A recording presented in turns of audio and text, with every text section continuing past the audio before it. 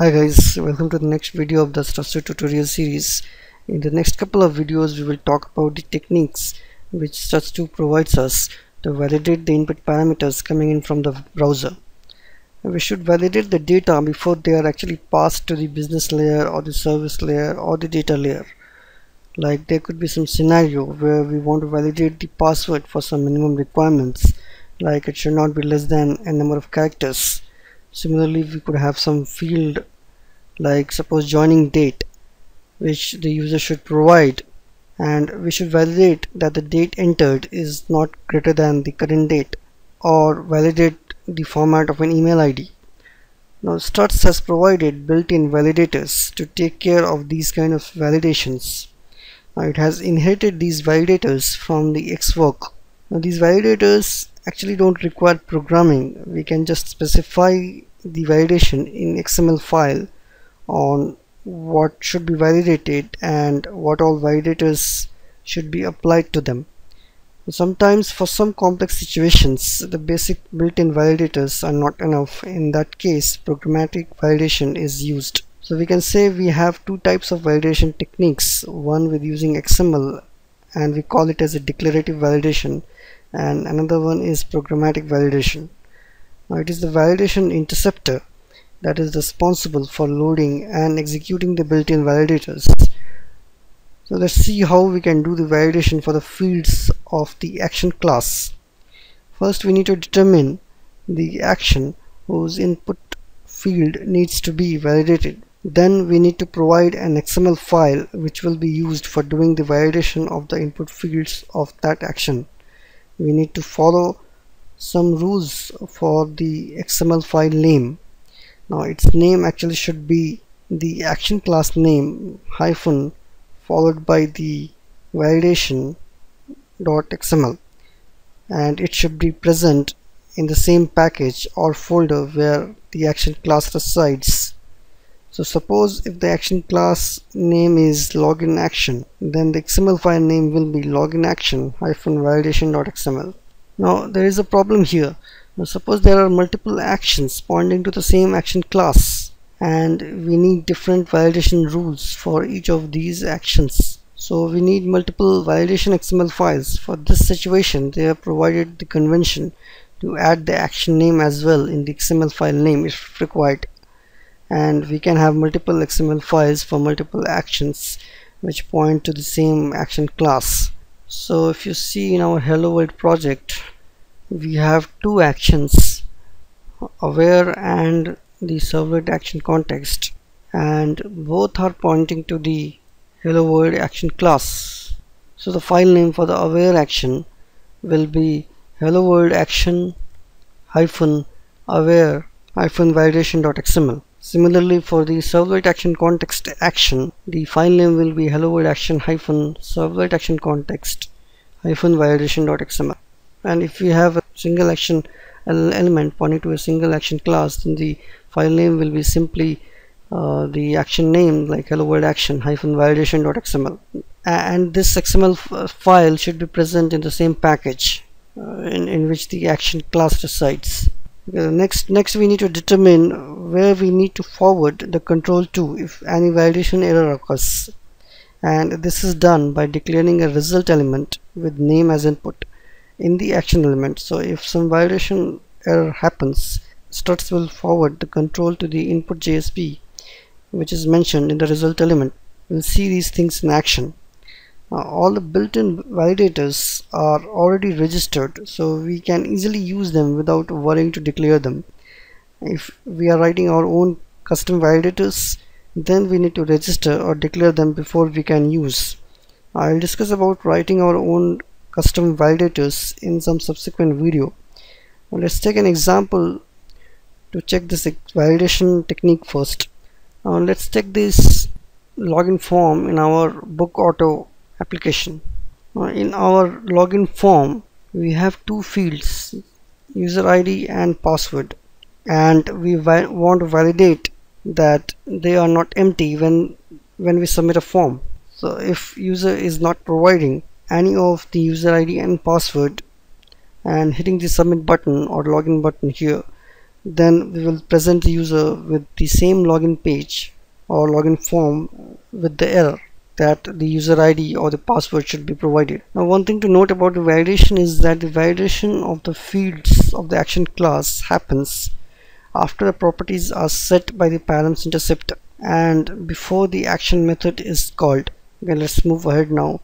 The action corresponding to this login form is verify login action. So if the user submits this login form then the verify login action is triggered. Now let's see its XML file.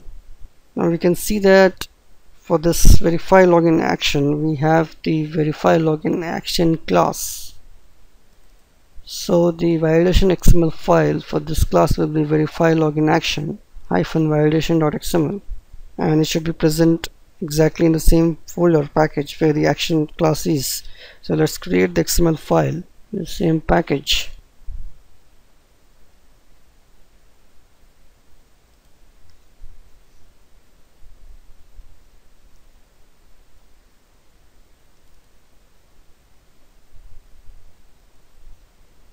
hyphen validation dot xml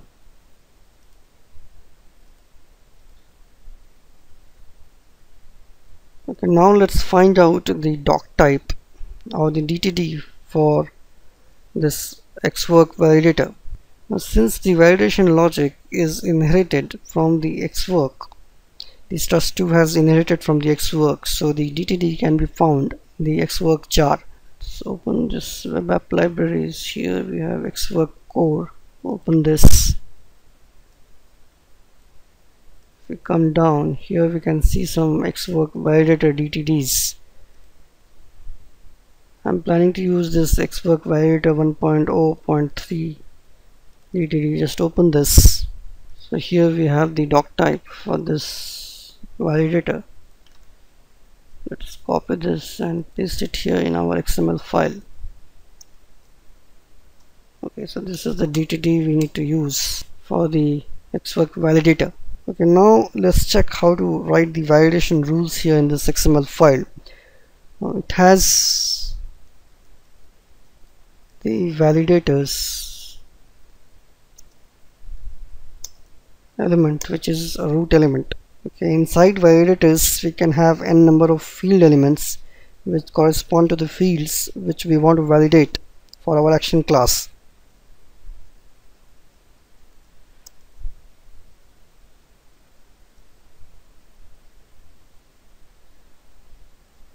It has one attribute or name. And in its name attribute we should provide the name of the action field which we want to validate in our case it is user ID similarly let's create one field for our password.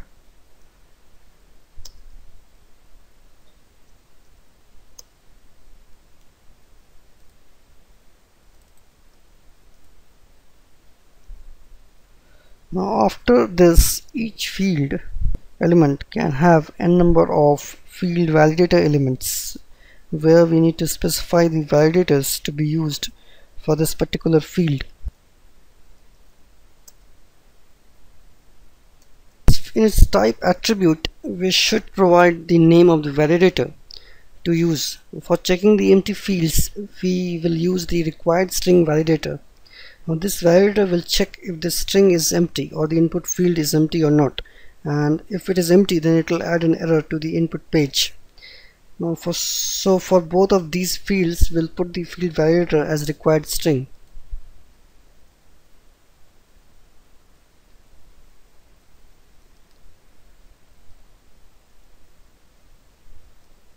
Let's copy this and paste it for this field as well.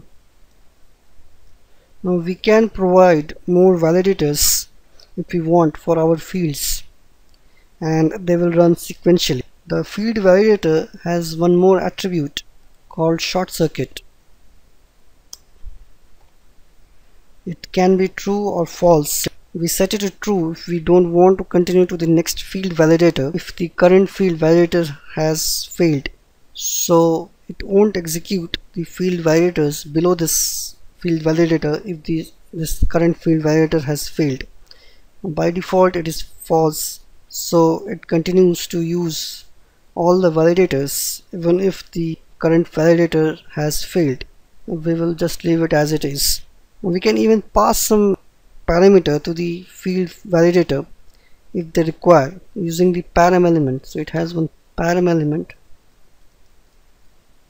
where we can pass some parameter to this field validator.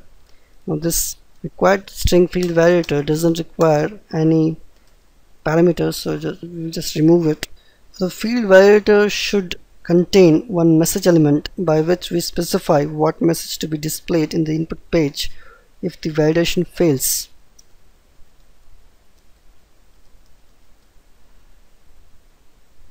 You can give some message here user id cannot be empty.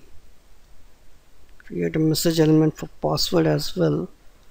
Password cannot be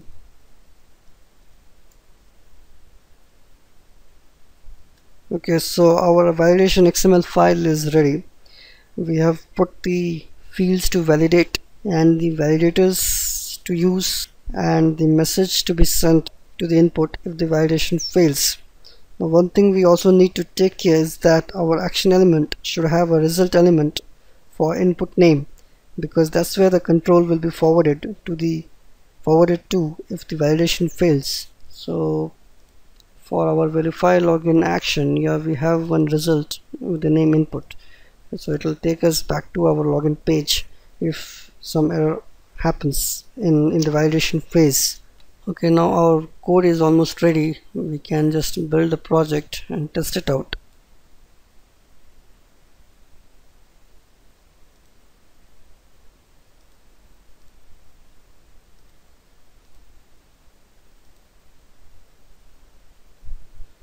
okay now let's try giving nothing here.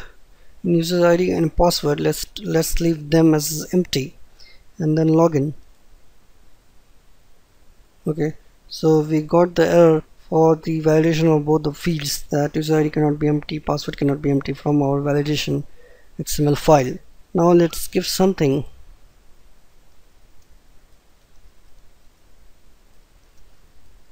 And then login okay so now we are able to log in with the non-empty fields.